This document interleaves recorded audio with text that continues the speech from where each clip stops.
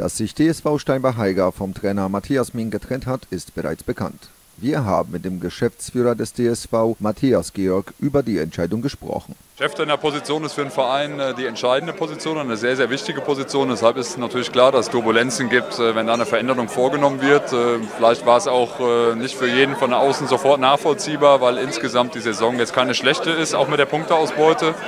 Lässt man die letzten Spiele weg, dann war es sicherlich eine sehr, sehr erfolgreiche Saison bisher. Nichtsdestotrotz haben wir im Verein entschieden, ähm, ja, nach der Gemengelage, wie wir die Mannschaft sehen, wie wir die Entwicklung sehen, dass wir einen neuen Impuls benötigen. Wir haben uns die Entscheidung nicht einfach gemacht, weil Matthias Mink ein Trainer ist, der hier sehr, sehr große Verdienste hat, der sehr, sehr gute Arbeit gemacht hat. Und äh, dann überlegt man sich das natürlich über einen sehr langen Zeitraum.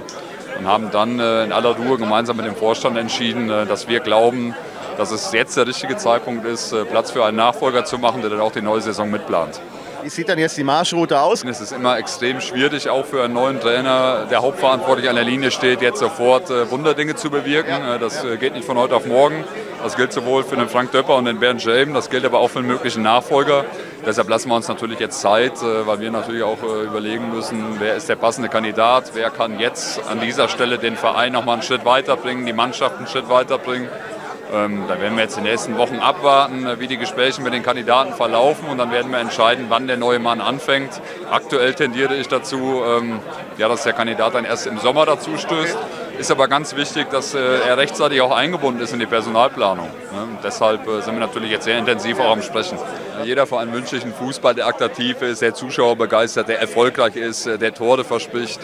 Das sind natürlich letztendlich auch Phrasen, ne? weil entscheidend ist dann auf dem Platz auch, wie sich der Gegner verhält.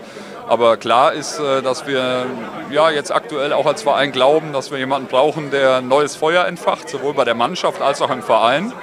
Ähm, da muss das natürlich ein Trainer sein mit einer gewissen Ausstrahlung. Da muss das ein Trainer sein, äh, der große Qualitäten darin hat, auch eine Mannschaft zu erreichen, eine Mannschaft und einen Verein hinter sich zu bringen. Und da werden wir jetzt genau hinschauen in den Gesprächen mit den Kandidaten, äh, wer dieses Feuer mitbringt, aber wer natürlich auch in der Vergangenheit schon gezeigt hat, dass er auf dem Niveau arbeiten kann. Alles klar, dann warten wir ab. Danke für die Infos und wir schauen, was passiert. Dankeschön. Gerne.